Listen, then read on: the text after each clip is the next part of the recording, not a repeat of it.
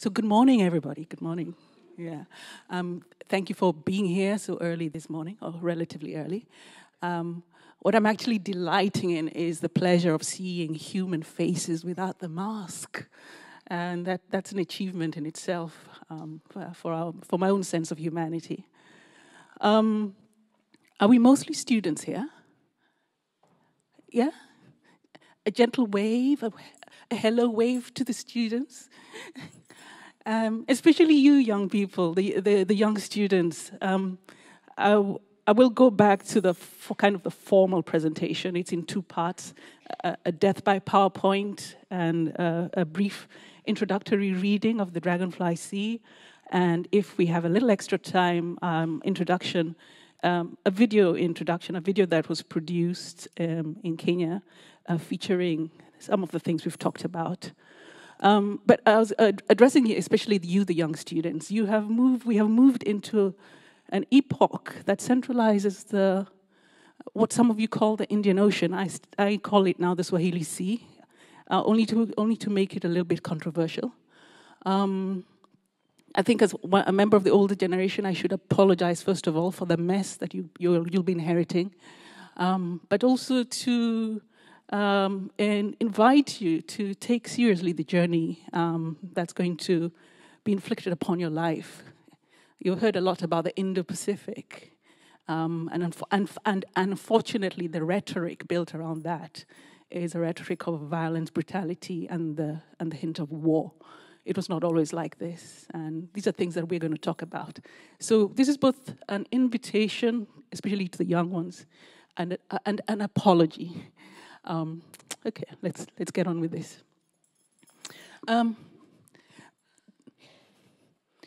the dragonfly sea. Part of, part of the challenge, uh, I'll also, um, Natasha, I'm going, I was going to say that um, contemplate the idea of a lexicon for our seas, another language, another uh, a wall of words for uh, the sense of our seas. Um, beyond the uh, beyond the beyond the rhetoric and beyond the words that we've come to accept that have in so many ways served to only limit and constrain our ideas of what these waters are. Um, are, are, is everybody here a sea lover? Is there anybody who hates the sea with all their hearts? um, I'm just curious, what are some of the names for the sea? What, some of, what are some of the names? Just throw out some words. What are some names for the sea that you have? Ocean? Pacific? Samudra. And that's from? Samundar. Samundar. Interesting, yes? Water. What else? La mer. Ah, oui, la mer. Mud. Mud. Oh, beautiful. Where is that from? Helens. What the? Okay, I'm going to, I should rush. Actually, I wish we had a chart. It would be nice to just get these words down. okay, I need to acquire those words. Any other ones? Isn't there a Dutch word? Say. How do you spell that? Yeah. Z A C. Oh, Z. Any other ones? Ma, yes, that's Spanish. Pada? That's Hangul. Uh-huh, okay. Mm. As you can see, it's it's um, and in each one, I think what's so amazing is that in each one of these words, there are histories embedded. These are not just mere words. Um, there's the Swahili Bahari um, linked to the Arabic baha The assumption is always that it's the Arabs that gave the word, but there's actually a, a realized possibility that the Swahili are the ones who gave the word Bahari as a loan word to the Arabic language.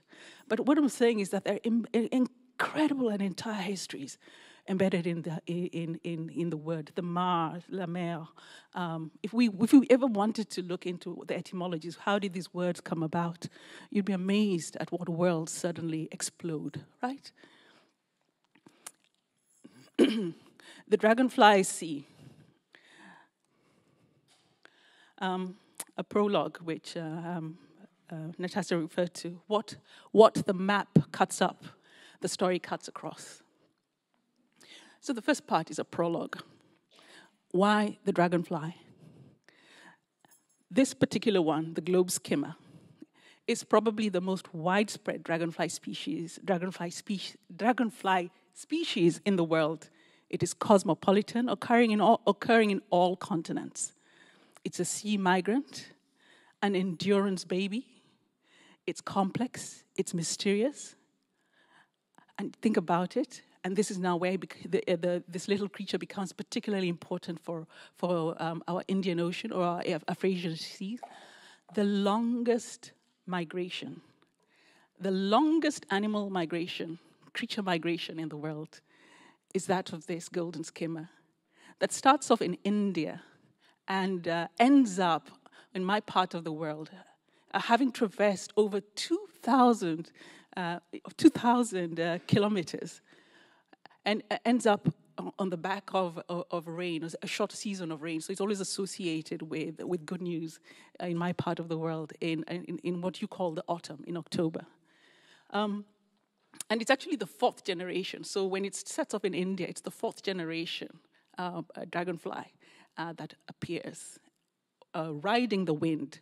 And what's so fascinating about that migration, when the dragonflies start to migrate, around that time, um, kind of halfway, the, the migrating birds from Europe also start to move. So as they're moving in up to our part of the world, what they have over the ocean, um, riding the winds, is a snack, is a dragonfly snack. Um, so they, I mean, it's, it's when you when you enter into that space of the movement of the of of, of creatures across the across our, our, our magnificent ocean, um, it's, it's, an, it's a whole other world. It's an incredible micro, macro world happening right there and has happened for millions of years. And, and, and, and the, I use the dragonfly in many ways as a, a placemaker, a site maker, because one of the most uh, controversial aspects linked to these particular waters is the naming. What we call the Indian Ocean was only, be, only called the Indian Ocean in 1515 um, the, the result of the fantasy of mostly the Europeans who happened upon those waters rather late, but were preoccupied with a fantasy idea of India. And uh, because of naming protocols, um, uh, the, the waters that were known by many, many, many other names, including you know, the, the names that were presented to us, and, and there are a few others that I'll share with you, um, becomes enshrined as Indian Ocean. Um, so with, with the new contestations, I promise you this, you're going to find all sorts of um, uh, protests and objections about the names arising and emerging, um, just so that you're prepared for it. Um, and I, I, too, as an East African, I'll be throwing in my stake out of pure mischief and malice. So I'm insisting on Swahili seas. Um, now, so, but think about the marvel of this. It, it, this thing is only about five, five centimeters long, weighs under 300 grams, and traversing the ocean in the way that it does. Uh, it's, it's, uh, the story itself just was so just kind of blew my mind. Um, of course, it's now the subject of so a, a lot of research going on right now. But it's in our parts of the world, and when I say our parts, those, those of our worlds that are linked to this particular sea, and these are immense, immense worlds which you're going to see, it's associated with good portents and it's associated with good luck. Except in, except in Europe. That's, you know, when I, when, I, when, I was, when I was reading the names, that the, the stories associated with the dragonfly, I thought we're really very different people. So, In Europe, they were treated as em- uh, emblematic of one form of evil or ill will or another. The Swedish folklore holds that the devil uses dragonflies to weigh people's souls. Norwegians name it eye poker. Uh, the, Portug- the Portuguese used to call it eye snatcher. just so that uh, uh, again, uh, and of course, I will. I'll keep. I'll, I'll be provoking you with certain questions. the relationships we have with uh, uh, the the little presences, the creatures um, that inform our our uh, if, if you want, inform our lives and with which, with which we relate or share spaces like oceans. Um, not only say a lot about our own, um, uh, what do you call it? The way we name them also say a lot about our sense of that relationship, but also what these mean for us. Um, only in the interest of time, uh, because, because I think I want to pack quite a bit, I was going to also say, what names do you have for the dragonfly uh, in, from the worlds in which you come? Um, and how are these associated with the water or with the sea? Do you know? Do you, do you know the names of these dragonflies at all? I mean, are, are, are people aware of um, uh, of the meaning of dragonflies within their own cultural spaces? Okay, it would be fun. I mean, if we had time, it would be a lot of fun uh, uh of what would what would be uncovered. But again, one of the things we have in common in the worlds that we share, those of us, uh, those of us who are in many ways reclaiming our old belongings to the global monsoon complex, the, the Afrasian Sea, the, the Silk Road, or whatever you want to call it, mm, are, are the, if you want, the, the, the, the elements we have in common. Uh, this is what this prologue is mostly about. Um, the sense of what the dragonflies mean for us. As I said, every time they show up in our parts of the world, they show up as portents of good luck because they come with the rain, they come with a short rain. So, before I go that, I said I, saw, I told you there were placeholders for what is going to be the most contested waters in the world. Mm, it's a return to the past, but this time with all the world. And one of the things that will blow up is the ocean's most used name. Now, when I about India and the Indian Ocean, um, the Indian Ocean, as I, as I, said, it has only been known that in 1515. The point I actually want to make is this. Um, although it is a matter of great pride to India right now to still have the ocean called Indian, by right, they should actually be the first to object, for they had other names for it Ratnakara, Mahasagar, Samudra, which is a, a, Sanskrit term meaning the gathering together of all the waters. Um, and it also is the name of Samudra Deva, the Hind god of the ocean. Um, so, yeah, so I, like I said, um, uh, there's so much that's going to emerge. Now, I, quickly want to thank Natasha, as I said, for helping me correct a great wrong um, your note, Natasha, made me understand the reason, uh, part of the reason my whole spirit is very much steeped um, in the in especially or helping me reclaim the Africanity of these particular waters is because of Haji Gora Haji. He died last year in June, uh, but his spirit has started the wandering, had started my own search. I would never have been able to write the book Dragonfly Sea without him. And uh, this great sea whisperer uh, he was a, a, fabulous man, an artist, a seer, a cosmopolitan in the sea sense. I want to be able to honor him. I, I want to dedicate this session to him uh, in gratitude, in love, and for blessing. And also because the character of Muhidin in my story is inspired by him. And he died before I could thank him. So, yes, if you don't mind. Mm-hmm. He's the one who gave that line. You're looking for uh, when I went to uh, when I went to research the book Dragonfly Sea. He said, "You're looking for the sea. You're looking. You're, you're, looking for. You're looking for a map because I, you're looking for a map, my child." He says, "The sea is the map." Uh, it was such a simple yet profound uh, idea that uh, continues to to resonate to this particular moment for me. Some of the things we have in common in these particular waters, mangroves um, and the history of the mangrove trade is also old, ancient. Um, the boats that you see on the on the particular on, on our particular on, on, these particular seas, the, especially the, the the most emblematic one, the dhow, um, built you know from mangrove uh, mangrove wood, um, and and uh, actually, without the mangrove, the, the sense of travel, uh, the centuries old travel that involving those particular seas would not have happened. Um, like I said, I'm throwing my name into the basket, but these are the names for this particular sea. Um, its first kind of literary reference um, that when Europe encounters it is in the Periplus of the Erythraean Sea, uh, when it's referred to as the Mars Eritrean, actually where Eritrea gets its name from. Okay, the things that have been said about it. Um, it's not one thing, this ocean of ours. So uh, it's the most complex and complicated. I know the previous uh, decades have dedicated their attention entirely to the Atlantic, but those of us who had have the fortune of, of growing up by the Indian Ocean and being aware of its histories have found the Atlantic to be extremely dull. No, no offense to those who are Atlantic oriented, but really. Um, there is no way you can enter into the worlds of the Indian Ocean and be get, and not, not not only get bored, but I should warn you, those of you who may be trying to go in, it's a rabbit hole. You'll go in and there's no way out. You you won't you won't come out of it at all at all. There's no way you can. Okay, and this is you know well the Indian Ocean trade routes. Um, can somebody tell me why, how, why, especially even before proper navigational devices were available? Does anyone know why, particularly, um, uh, trade was possible and, vib- and vibrant uh, in these particular seas in a way that's unique?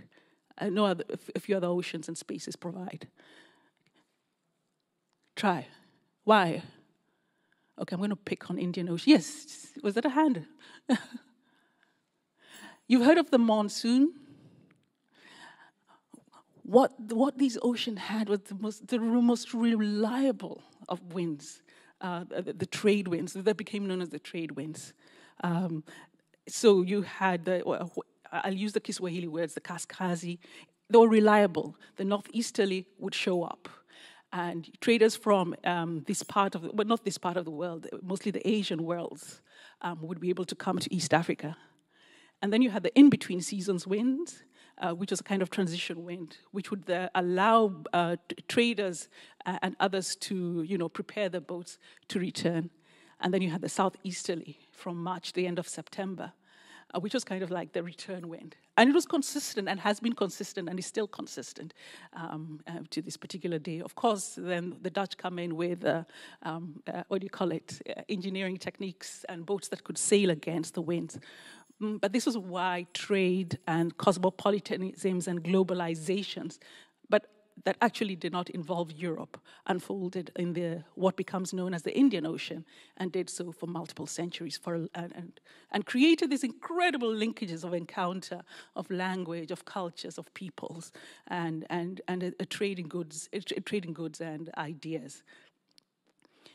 I will say, and I, I, just wanted, these are images. I mean, like, if we'd had more time, we'd go, I mean, this, it, this is just a story itself. Uh, the Maulidi Homu uh, ya Mtendani is a Zanzibari based, uh, um, uh, how do you say it? Uh, it's both aesthetic but also art, artistic performance. Um, but it's, um, it's, it's what, what simply happens, why I put it there is that it's music and it's dhikr, it's recitation um, is inspired by the winds, uh, the, the, trade winds. Um, the songs that are, that are they so, the songs, the static songs come from um, ecstatic journeys. So, you know, on the boat where you had to say prayer and things like that. If you were in a storm, it wasn't an excuse for you not to pray. You just chanted. Um, so it's moved now to the stage. Um, if you if you ever have time to to look them up, Maulidia Homu, please do. You won't regret it. Um, okay. A similar, a similar group also uh, are the Zar practitioners. This is Mazaher here from Egypt. Again, Zar as a practice is inspired by specifically the winds of the ocean, winds of the Indian Ocean. Um, the, and, and, and each one of the winds has, is associated with healing or transformation or transcendence. Each one of the winds is provided with a function, a character, and a name. And again, this also translated into um, ecstatic dance uh, that's both uh, entertaining, but it's also about healing, therapeutic dance as well, uh, but also absolutely beautiful. So uh, again, the when I say the complexities of relationships with this particular worlds uh, of the Indian Ocean, right? Um, I, I, also wanted to point out uh, that that in East Africa, this, for the Swahili, the sea was not just the sea. The sea was a network, and the sea was associated with family homes. So, you know, each part of the territory, the, the mapping of the sea was mapped through um, associations with families. So you could map your way from uh, uh, uh, uh, from from Unguja, Zanzibar, um, to to, uh, to what do you call it to the Malacca Straits, um, just you know passing through human territories that were embedded and enshrined in the waters. Um, and again, when you hear the recitation of genealogies linked to the water, it again reveals a whole other idea of what, um, how we how we think of the seas. Again, like I say, I'll just allude to it, but that itself is just a, a sight of just profound ima- imagination. Uh, you know, I know we're talking about, uh, uh, for example, the Swahili, and I know, for, especially for those of you who are in the, um, who are coming from Europe, a lot of them, a lot of it may actually sound new. It shouldn't be new at all because um, linked to this particular histories was uh, where, especially when the British and the Portuguese came around, um, they went into complete shock to realize that kind of life had been going on without them and going on and going on quite successfully. So one of the major things they did was what you call a, it was a vicious, brutal amputation of histories of agencies, right? Um, not not not to be uh, well. Uh, uh, I better not allude to it. I was going to refer to the amputations, the current kind of amputation that's going on with the, kind of the Russian idea. But that kind of erasure of agency, so that in the end, every time you meet in the contemporary text, now when you meet the African, you only meet the African as cargo on somebody else's boat or as an, an artisanal fisherman fishing on the shoreline, terrified of the waters. So there's an incredible and profound erasure of both imaginary and agencies. And so when, when, when, uh, when the world then opens up and people now find African communities in India, in Pakistan, in, in Iraq, in Iran, the Afro Persians, Afro, all these Afro Iraqis, mm, they're immediately accorded the title of former slaves. And when, they, and when you meet them, especially, we, uh, well, I used to run the Zanzibar Film Festival and had the pleasure of hosting the Sidi Goma. And their own genealogies and histories speak of their going into these places as traders, as teachers, as soldiers, as mercenaries, as boat captains. But none of that, none of that is ever heard, right? So, I mean, part of I'm an artist. I write whatever, uh, whatever the muse brings to me. But my own involvement with the ocean um, comes because of the awareness. I, I, I didn't know either until I ended up working in Zanzibar. I was shocked by my own ignorance, uh, but also how much of the bullshit I had imbibed. But then that, that becomes part of my own, um, uh, uh, what do you call it, work. Not an activism as much as a ruin, a searcher of ruins. I, I go into ruins and excavate our dead um, and, and, and accord them once more if they give me the permission, um, their right to speak, even if it's just one line, right?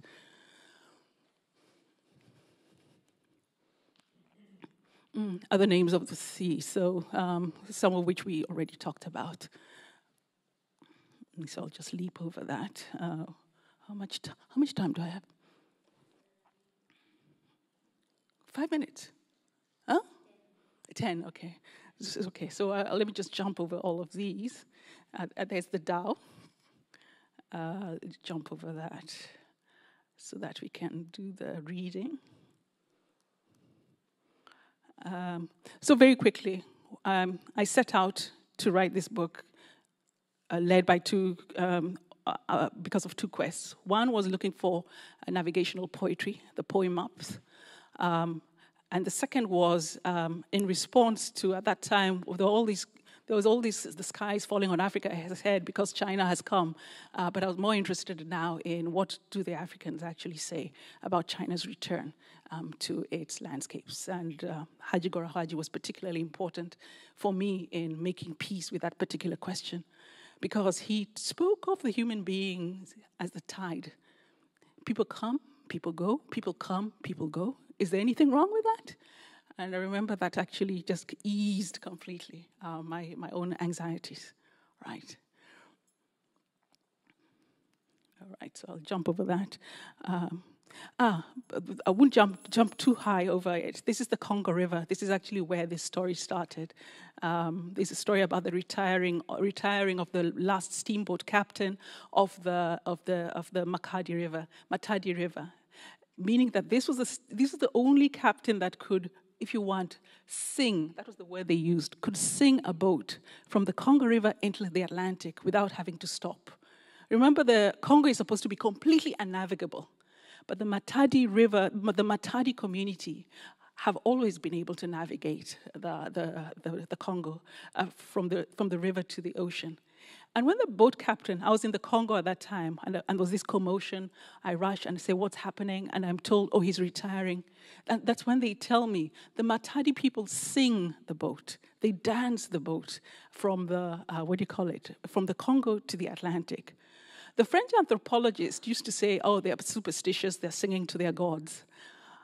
But it was only later on, because something had happened in Zanzibar that had confused me uh, several years back. It all came together in that moment. It was only then that we realized, oh my goodness, this is like satellite navigation.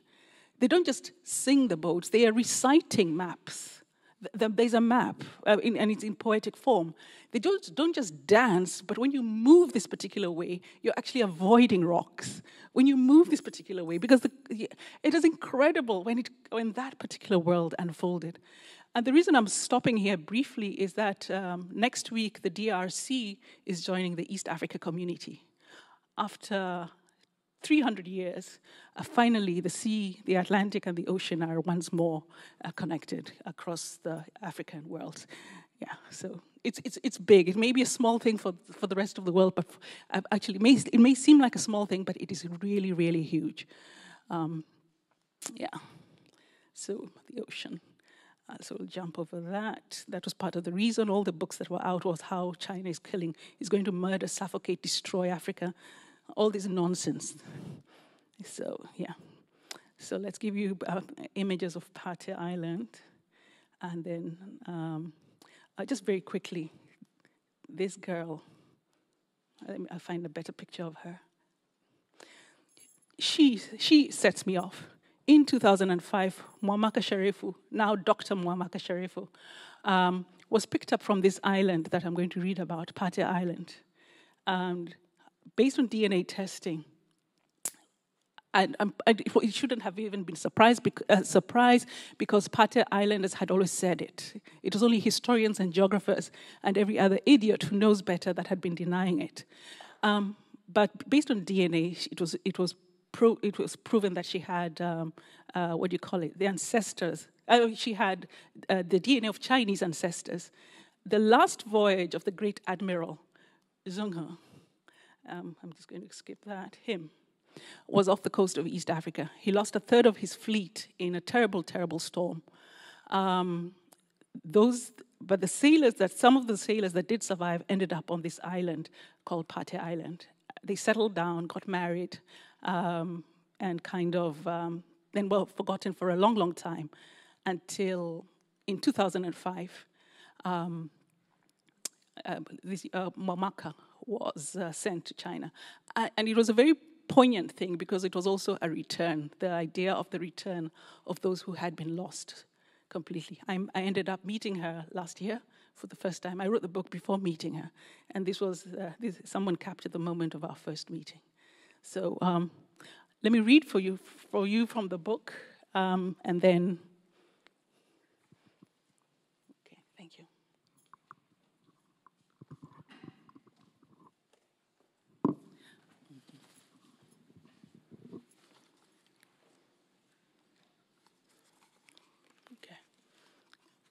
it on.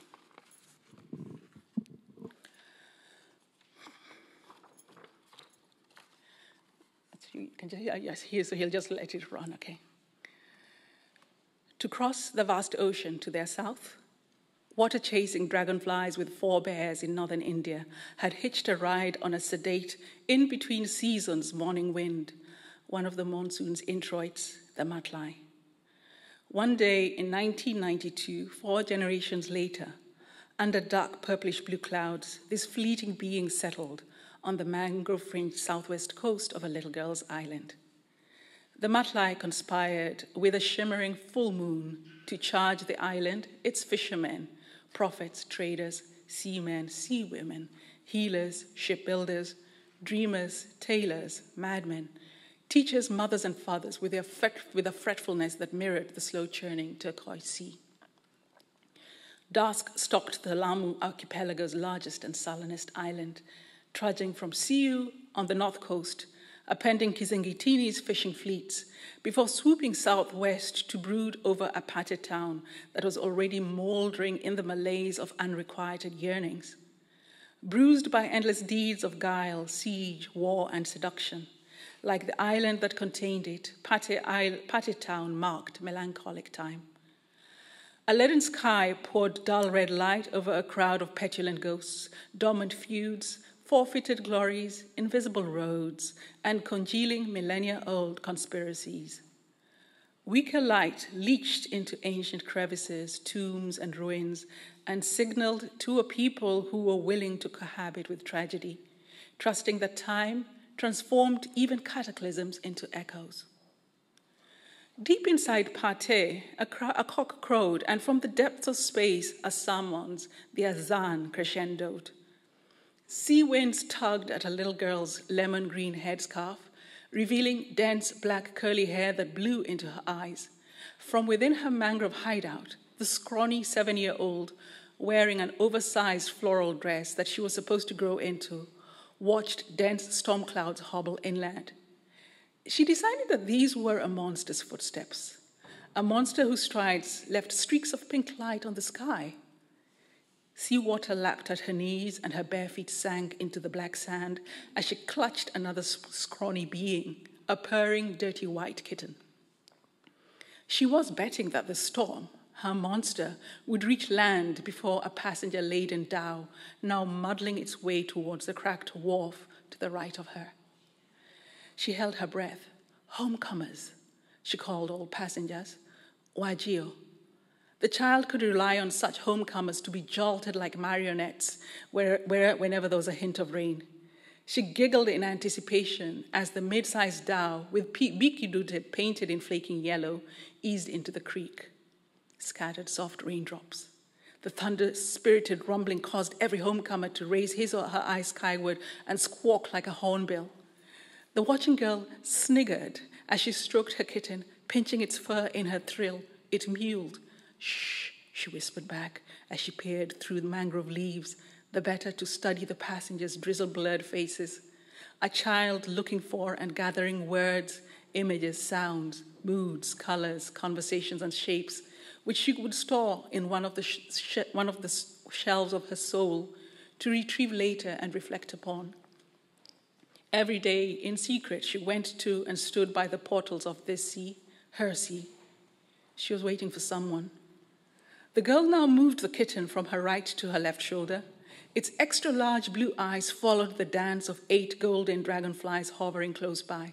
Thunder, the dhow drew parallel to the girl, and she fixated on a man in a cream colored suit who was slumped over the vessel's edge. She was about to cackle at his discomfort when a high and hurried voice intruded. Ayana! Her surveillance of the man was interrupted as lightning split the sky. Ayana! It was her mother. Ayana! At first, the little girl froze. Then she crouched low, almost kneeling in the water, and stroked her kitten. She whispered to it, Hi, Duru, don't mind, she can't see us. Ayana was supposed to be recovering from a morning asthma attack. Bimunira, her mother, had rubbed clove oil over her tightened chest and stuffed the all ailment treating black kalonji seeds into her mouth. They had sat together naked under a blanket while a pot of steaming herbs, which included eucalyptus and mint, decongested their lungs. Ayana had gulped down air and blocked her breath to swallow six full tablespoons of cod liver oil. She had gurgled a bitter concoction and been lulled to sleep by her mother's dulcet do, do, do. She had woken up to the sounds of her mother at work the tinkle of glass, brass, and ceramic, the aroma of rose, clove, langi langi, and moonflower, and the lilts of women's voices inside her mother's rudimentary home based beauty salon. Ayana had tried. She had half napped until a high pitched sea wind pierced and scattered her reverie. She had heard far off thunder, but she had pinned herself to the bed until the persistent beckon of the storm proved irresistible. Then she rolled out of bed, arranged extra pillows to simulate her body, and covered these with sheets. She squeezed out of a high window and shimmied down drain pipes clamped to the crumbling coral wall. On the ground, she found the kitten she had rescued from a muddy drain several days ago, stretched out on their doorstep. She picked it up and planted it on her right shoulder, dashed off to the seafront, and finally swung north to the mangrove section of the creek, from where she could spy on the world unseen. Ayana! The wind cooled her face. The kitten purred. Ayana watched the dhow. The cream suited elderly stranger lifted his head. Their eyes connected. Ayana ducked, pressing into the mangrove shadows, her heart racing. How had that happened? Ayana! Her mother's voice was closer. Where's that child? Ayana! Must I talk to God? Ayana looked towards the boat and again at the blackening skies.